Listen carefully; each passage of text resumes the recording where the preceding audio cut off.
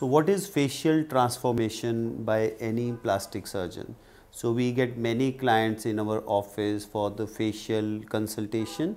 So she has come to me for a consultation. For facial transformation, we always do the cocktail of treatments. Like in this patient, we have done four procedures. So first is the micro fat grafting.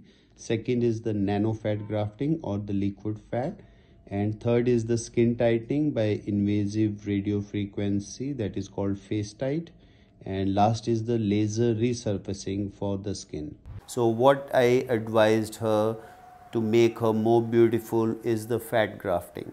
So as you can see under the eyes and in the anterior cheek there is loss of fat and uh, she that gives a sad or the aging appearance to the face so we are planning for the fat grafting for the whole face.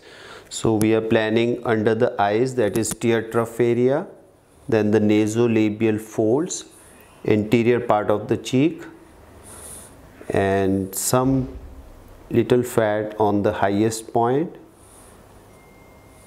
and the marionette lines just below the lip to raise the corner of the lip and we are doing nano fat on the forehead and the upper lip and the chin.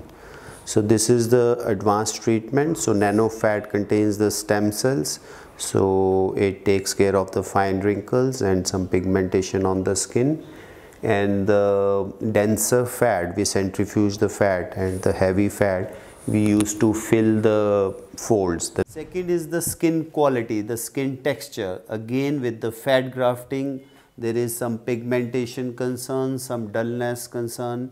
So with the nano fat grafting, we can take care of the uh, skin quality also. So what is the technique of the fat grafting? So first step is we have to harvest the fat either from the abdomen, the love handles or from the thighs.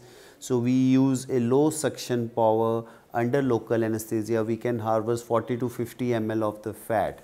Then second step is the processing of the fat. We have to specially centrifuge the fat or there are other techniques. We, we want to condense the fat. We have to uh, discard the uh, water content, the plasma content. So we have to take only the thicker fat.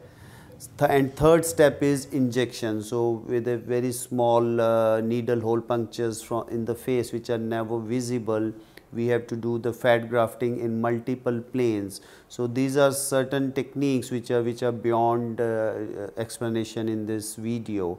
So the result. So this is very important because patient is not interested in the technique, she is interested in the result.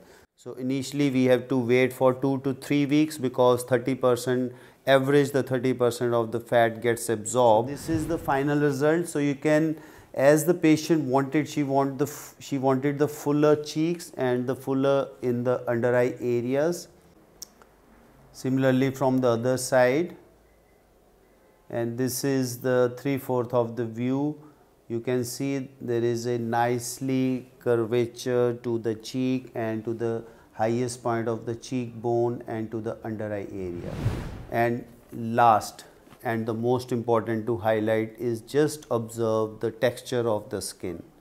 At 3 months you can see when there is a plumping of the face or there are stem cells in the fat or we take the liquid fat called the nano fat and we put it just into the dermis that is in the in the skin part only not in the deeper layers. So it it gives the miraculous result for the skin texture.